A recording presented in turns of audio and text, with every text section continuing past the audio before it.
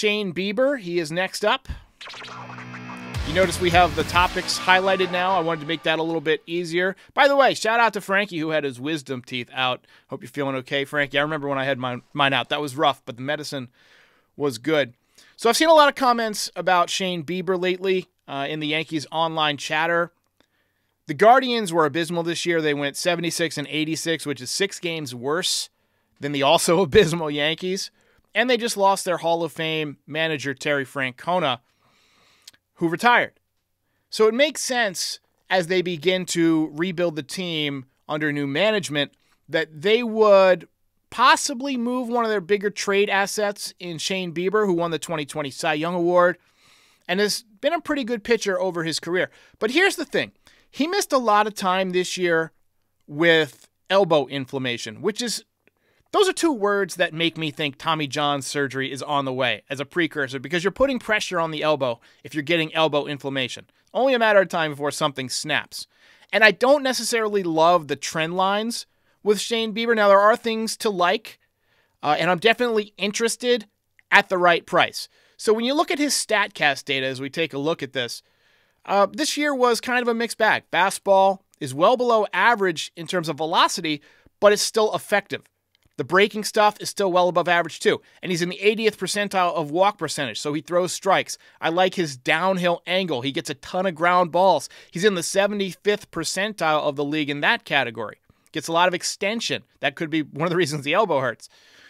But he used to be a guy that got a ton of strikeouts, and those are, are declining fast. His strikeout percentage has dropped from being in the you know top of the league, 41.1% in 2020 during the COVID season, 33% the following year, 25% the year after that, and now down to 20.1% in 2023. And if you look at his expected ERA, it's gone from 2.62 in 2020 to 3.73 the following season in 21, slightly back to 3.51 in 2022, and then shot way up to 4.83 this year.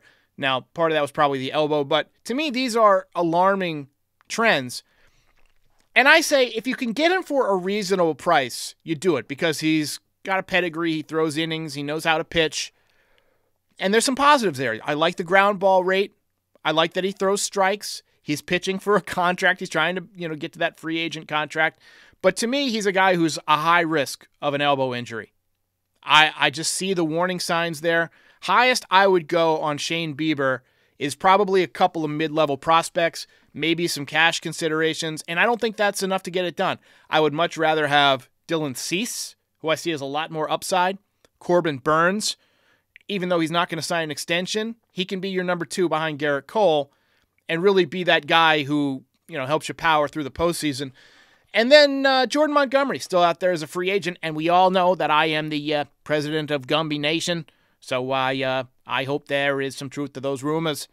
But I've heard mixed mixed reviews on whether or not Jordan Montgomery would be willing to come back to the Yankees. Uh, ben Green says Corbin and Frankie.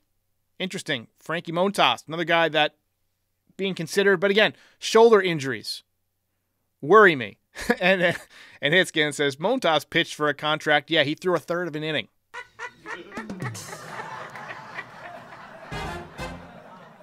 All right, let's take some comments on Shane Bieber. Dr. Anarchy says, I'd be fine trading Everson Pereira for Bieber. Straight up, given that the Yankees now have a little bit of outfield depth, maybe, but I would want them to eat some of that contract so I could go out and get somebody else just in case he breaks, which he might. Uh, Dominic and Lenny says Trevor Bauer, a couple of question marks. It's a possibility. I haven't seen many teams interested in him. He obviously had a decent year in uh, Japan this year. I think there's more of a likelihood they would go with somebody like a, a Shota Imanaga or a Jordan Montgomery before they would go to Bauer. But if those guys get scooped up, then I could definitely see uh, Bauer becoming an option. Uh, let's see here.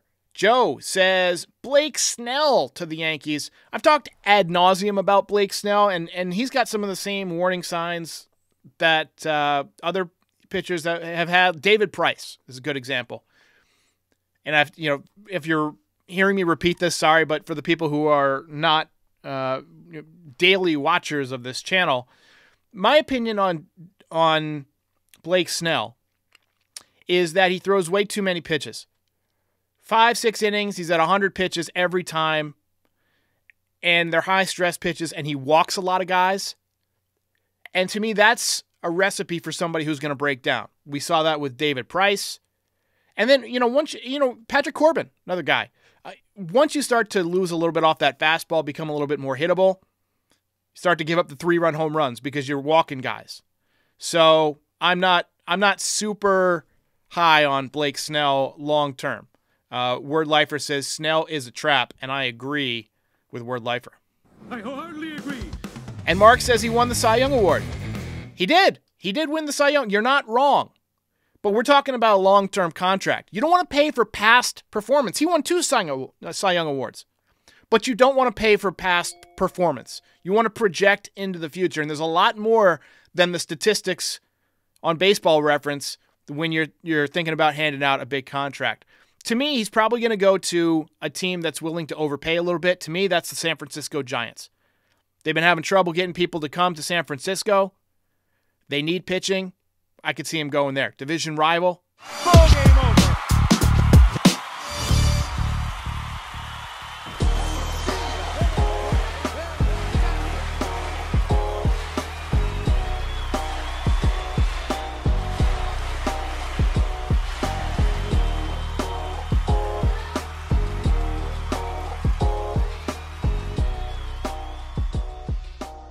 Most impressive.